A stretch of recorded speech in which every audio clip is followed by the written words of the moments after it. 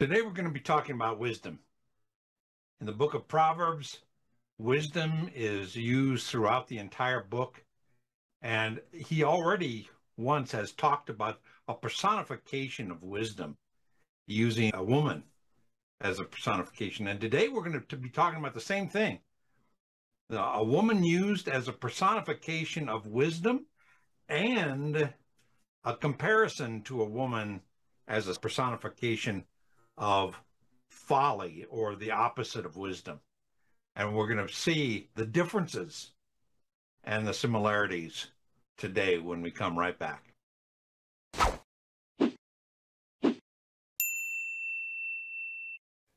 Hi, and welcome to Bible Study with Friends, where our goal is to help you get more impact from your Bible study. I'm here with my friend Tommy Thompson, and Tommy and I are going to continue looking at the theme in the book of Proverbs. And we've been moving very quickly where this idea of knowledge, understanding, and wisdom are mentioned together. Now, those words individually are through the whole book of Proverbs. But I'm looking at places where the three of them interact with each other in a way that makes sense for us. And today we're going to be talking specifically about wisdom and folly as two different lifestyles. And again, this is the second time, Tommy, that Solomon has personified wisdom in the personification of a woman. And this time he's going to compare a woman of wisdom and a woman of folly. And we're going to do that. So let's get into the word, okay? All right. Here we are in verse one. Now, it, this is a story uh, that w- about wisdom. and notice the pronouns are her. Wisdom has built her house. He has hewn out seven pillars. So we're talking about wisdom from this personification of a woman. Now, I want you to read from verse 1 down to verse 3. Okay. Wisdom has built her house. She has hewn out her seven pillars. She has prepared her food. She has mixed her wine. She has also set her table. She has set out her maidens. She calls from the tops of the heights of the city. All right. So now we're starting to get a picture of this personification of wisdom, and she is active. First thing we see is she builds her house, and her house is hewn out of seven pillars. Now, I did a lot of research, Tommy, on what are the seven pillars. And the Jewish scholars are all over the place, Christian scholars are all over the place. Nobody knows what they are for sure. One guy said, Oh, it's the seven days of the week, the seven days of creation, and the Lord resting on the seventh day. But it, I think it's a lot easier for us in understanding if we just take it that she builds her house and it's a sturdy, solid house and not try to get too metaphysical. okay. And just basically say the reason it's hewn out of stone is these are not just a couple of pieces of board put up. This is a solid house. The solid, you might say, uh, the house wisdom builds in your life is a solid house hewn out of stone, not sitting on the sand. Remember in the New Testament, the house built on sand and the house built on the rock? Yeah. This is I, the idea, I think, is she builds a house on the rock. And then it says, and she prepared her food and has mixed her wine. Now, that what that mixture wine is culturally, they didn't serve 100 proof wine. They mixed their wine with water and they mixed their wine with spices to give it a, a different taste. And th- they didn't have the luxury of importing grapes from all over the world. They used their grapes and they watered it down because it's very strong. They watered it down. In fact, the Jewish, when they celebrated Passover, they watered the wine down three to one. Three deals of, of water compared to one of wine, just hmm. to get it so that adults, kids, anybody could drink the wine. And that's it's basically talking about she prepares her food and makes a drink for hospitality. Yeah. She also set her table, so she's ready for guests. So I could ask myself a question of do I want to be a guest of wisdom or a guest of folly? Because I know that's coming. So that's yeah. an underlying question we can ask ourselves as we go through here. So now it says she set out her maidens, these are serving girls. She calls from the tops of the heights of the city. So she goes to the most public place she can be. And she shouts this this welcome okay? Now let's read the welcome.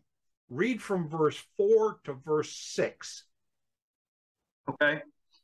Whoever is naive let him turn in here. To him who lacks understanding she says come and eat of my food and drink of the wine i have mixed.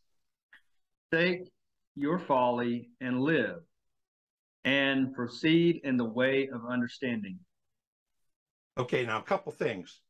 You studied this chapter earlier. She has a message for the naive. The naive are not people without knowledge, they're people without any understanding. They don't apply what they know. Maybe they don't know anything, they don't apply it either. Okay. Hmm. so he says, but hey, you naive, you people who want to have understanding, come into my house, come into the house of wisdom. And I've made a preparation for you to be comfortable. And I'm going to have an impact in your life. And it says very well for verse six forsake your folly and live and proceed in the way of understanding. That's the answer to the naive is have an understanding of what's going on.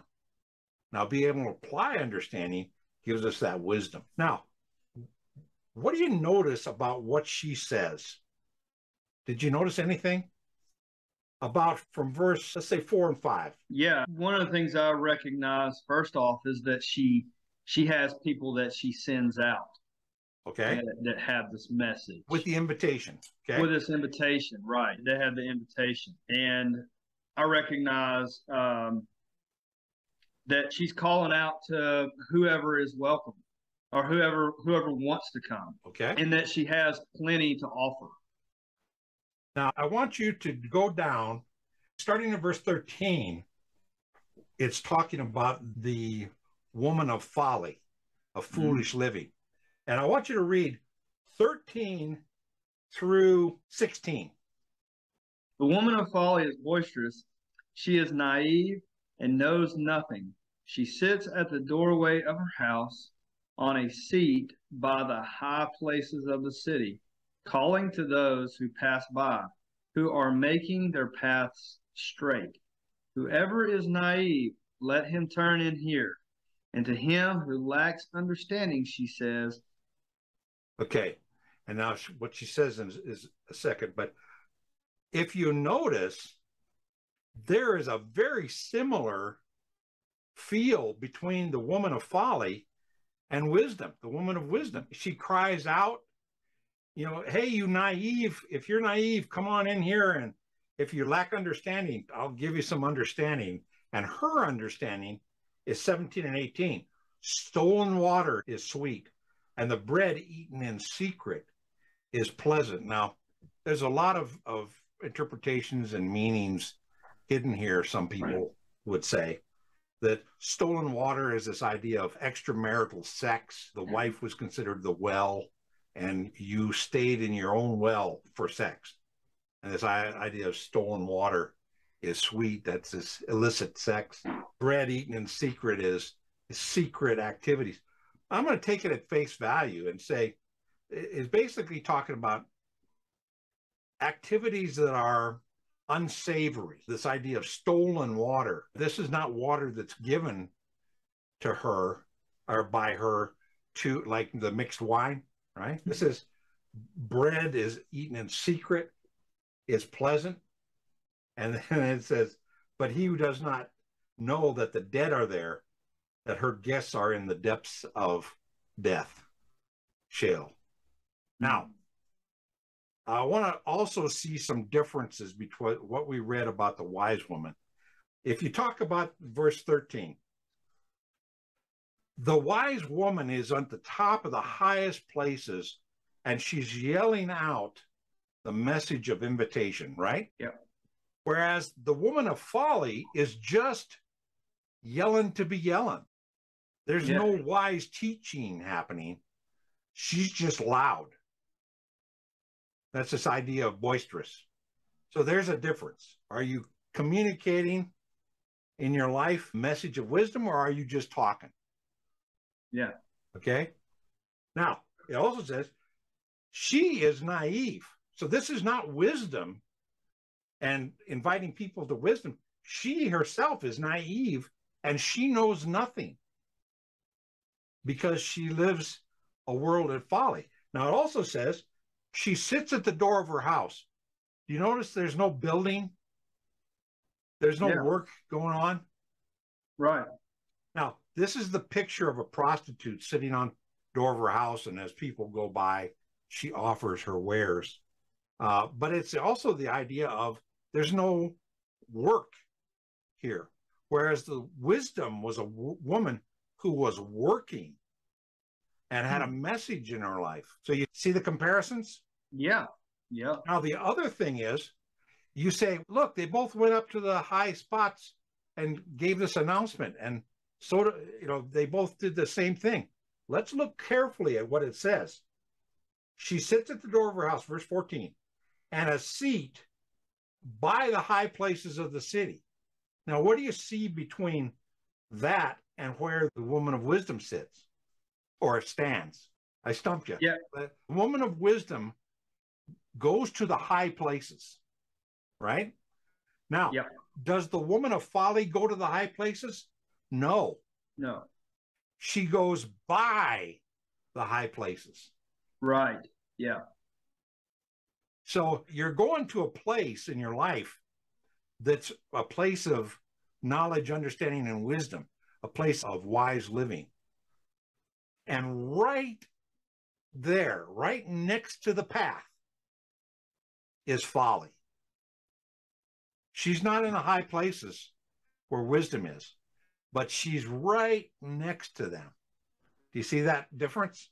Yeah. we mm-hmm. got to be careful that just because we're pursuing a path of knowledge, understanding, and wisdom, that doesn't guarantee that there's not somebody right next to the path saying, Hey, come off the path a little bit here. And that's folly. Yeah, that's that was what I picked up in verse 15 is they were calling to the people passing by who were making their path straight. And Right. I I started thinking about Proverbs 4, 25 through 27, where it says, Let your eyes look directly forward and your gaze be straight before you. Ponder the path of your feet. Then all your ways will be sure. Do not swerve to the right or to the left. Turn your foot away from evil. Yeah, that's this idea of if you, you live in a straight path, be careful of the stuff on the edges. If- And I'll take YouTube. YouTube, I go to YouTube to watch videos all the time, but I go to specific videos that I have found in my search and I open those videos and watch those videos. What I don't do is scroll through all kinds of offerings hmm. because every time I scroll through stuff or on Facebook or on anywhere, if I'm just scrolling through stuff, I'll see things that I don't want to see. And it'll have a tendency to take me off of my path, the path of righteousness. So I, I'm with you 100% there. Now, you notice in verse 16, folly says, Whoever is naive, let him turn in here. And to him who lacks understanding, she says, I got stuff for you. Now, that's the same person. If I'm a naive person, I need to go, Oh, yeah, there's two women, there's two things yelling at me in life wisdom, who has something good for me, and folly, that has something not so good for me. And they're both yelling at me and trying to lure me off. So I need to be really aware. And part of understanding is being able to tell the difference between solicitation for good and solicitation for evil. Yeah. In my life. Not going to be a prayer. Lord, I'm trying to make my path straight here. Help me discern. As it says in First John, test the spirits to see if they're of God or not. We got to be really aware, not walk into things naively. Okay. And that's what he's trying to help us here. And in this idea of stolen water is sweet. And he has this very alluring message for the illicit. That's compared to the message of wisdom at the front. She has a message for her guests of knowledge, understanding, wisdom. And we'll look at that verse. I want to show you that verse right here. From verse 7 to verse 12, there's a lot of discussion about 7 to 12 because it seems like it's disjointed from the woman of wisdom and the woman of folly. But if you consider this is the woman of wisdom still talking, don't set this off by itself. The reason I say that is because it says down in verse 11, by me your days will be multiplied. Who's the mm-hmm. me? It's wisdom. It's this woman of wisdom who's talking. So if you look down at verse 9, 10, and 11, re- read those three verses, getting this perspective of what does the woman of wisdom and wisdom in your life actually produce in your life rather than this illicit stuff that the woman of folly wants to do. Go ahead and read those. Okay. Give instruction to a wise man, and he will be still wiser. Teach a righteous man, and he will increase his learning. The fear of the Lord is the beginning of wisdom, and the knowledge of the Holy One is understanding. For by me your days will be multiplied, and the years of life will be added to you. So if you look at that, the benefits of going after wisdom as compared to the benefits of going after folly, if you notice that the end result of going after folly is death. But here, the end result is blessings and having your days be multiplied. That reminds me of the verse that talks about honor your father and mother because it will go well with your years. You'll get long life. Yeah. By obeying. And then we see in verse 10 this idea of people that want to absorb this are the people increasing his learning and getting wisdom and righteousness in verse 9. And it says, because the reverence for the Lord is the beginning of wisdom. And knowledge of the Holy One is understanding. Now, if I say I, I'm looking for knowledge that will lead to understanding and wisdom in my life, what there's a lot of knowledge out there. I could study molecular science, or I could anything. I could have a comic book collection and study the comic book collection. But here it says, knowledge of the Holy One is what you should pursue. Hmm. So I want to absorb as much information and knowledge about God in my life. And that will give me this understanding of how God works, how God is working, and how God will work in every situation. And that understanding gives me the wisdom that I can get from God.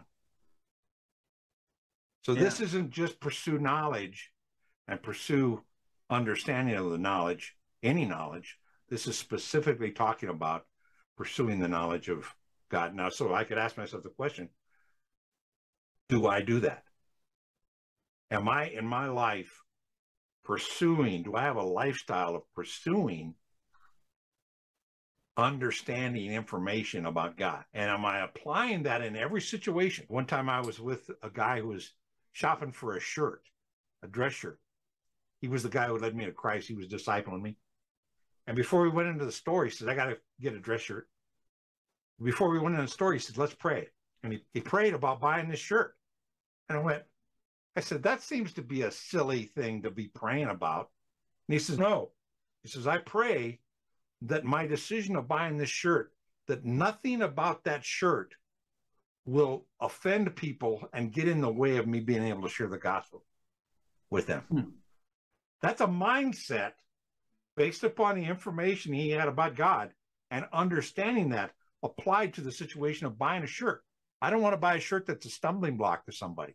I don't want to buy a shirt that's going to offend somebody. Why? Because I want to share the Lord with them and I don't want my shirt getting in the way. Interesting. And that's the perspective we have the comparison of wisdom and knowledge. Now, re- react. Let's do this face to face here. Re- react to what we've seen. We've seen this comparison between wisdom and folly. Now, the fact that he uses two women to personify it doesn't reflect on the sex of the women, but it's it's an interesting perspective to show the living aspects of wisdom and folly. Mm-hmm. So, what did you get? What's your takeaway from chapter nine? In a lot of ways, I think about kind of something that you already said earlier about how, as we're seeking wisdom, we're seeking wisdom of the Lord. The Lord will make our path straight. But this folly, this uh, these things really do creep up. Even like you were talking about, purely uh, you're just on the internet. Pictures pop up all yep. the time that really, as a male or probably anybody, will give you thought that really uh, shouldn't be there. And sometimes really hard because they are really loud. So when I read this verse, I really have to think, Lord, lead me in your instruction and in your knowledge, and please give me the ability and the skills to really ignore the the woman of folly. Yeah, and to, I pray all the time that look, I am naive about a lot of things, and the naive the way for me to address naivety, well, naivety, and whatever. But the way for me to address that is by going to the knowledge of, about God, applying that to understanding my life, giving me wisdom in the situations not listening to people who want to divert me away from God. So I need to take steps. If I don't just surf the internet, I go to specific places. I put in an, a pop up blocker, I put in an ad blocker. I take steps to keep my path straight in righteousness because I want to go to where wisdom lives. I want to go and have her help me with my knowledge of God and my understanding of how God works, understanding the Lord in my life, and then giving me wisdom. And that's a takeaway we can do with that the center verse in there, verse 10. We see all three of those working together knowledge, understanding, wisdom. And we should be pursuing those and pursuing wisdom that is godly wisdom, not wisdom that is folly. Today, we've been talking about wisdom and folly, and the idea of the benefits of living with wisdom in your life or with folly in your life, what that will cost you. And I want to make a recommendation. It's called Are You Finding True Wisdom? It's out of the book of Ecclesiastes, and I think you'll find it interesting. And we'll see you next week. And until then, God bless you.